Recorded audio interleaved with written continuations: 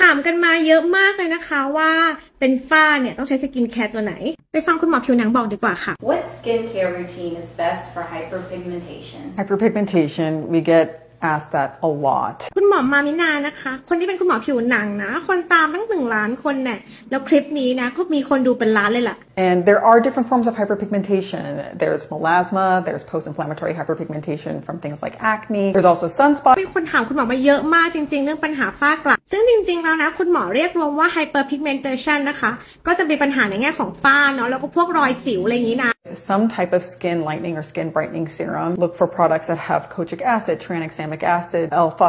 arbutin, azelaic acid, phenyl resorcinol, niacinamide. นักเลยลองหาข้อมูลนะว่าจะมีตัวไหนนะที่ตรงหรือว่าใกล้เคียงกับคำแนะนำของคุณหมอผิวหนังนะ จนมาเจอตัวนี้ค่ะ The Skin List Advanced White Serum นะ ตัวนี้อัดแน่นสุดๆ เลยนะ ด้วยสารทรงพลัง 9 อย่าง ทุกตัวสามารถช่วยลดการสร้างเม็ดสีที่ผิวได้ดีเลยแหละ ตัวแรกนะ 3% Transamic Acid นะ และ 1% Potassium Methoxysalicylate จ้ะถ้าใครนะที่เคยรักษาฝ้าด้วยยากินกับคุณหมอนะคะ หรือแม้กระทั่งใครที่ทำงานกับสายแพทย์เกี่ยวกับผิวหนังนะจะรู้ดีเลยว่า ยาที่ให้ผลดีในแง่ของการรักษาฝ้าคือยากินนะชื่อ Transamic Acid ด้วยกลไกของยาตัวนี้นะคะ ที่มีความแรงมากๆ potent สุดๆ ในแง่ของการยับยั้งการสร้างเม็ดสีค่ะ มันเลยให้ประสิทธิภาพดีไม่ว่าจะเป็นยากินหรือยาทาค่ะ แล้วเขาก็ยังใส่ 2% Alpha Arbutin นะ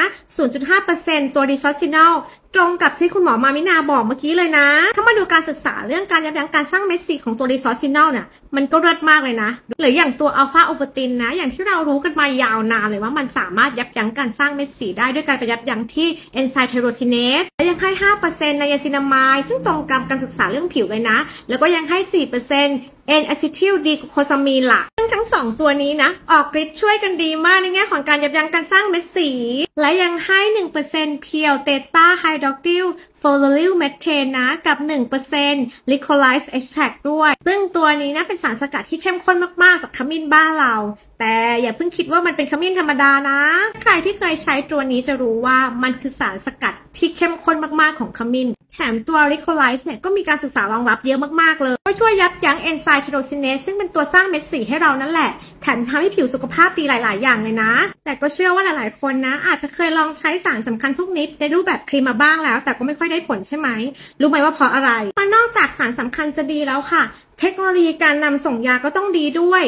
ด้วยความที่ตัวนี้ทำเป็นไลโปโซมนะ เลยนำส่งได้ดีมากกว่าถึง3เท่า การนำส่งสารสำคัญด้วยเม็ดเล็ก ๆ แบบนี้นะคะ จะช่วยให้ออกฤทธิ์ได้ยาวนานกว่า เห็นประสิทธิภาพได้ดีกว่าครีมที่เคยใช้มาทั้งหมดเลยแหละแถมคุณหมอนะยังแนะนำให้เราใช้คู่กับเรตินอยด์ค่ะ ดังนั้นการใช้เซตคู่ตัวนี้นะ จะเห็นผลเร็วมาก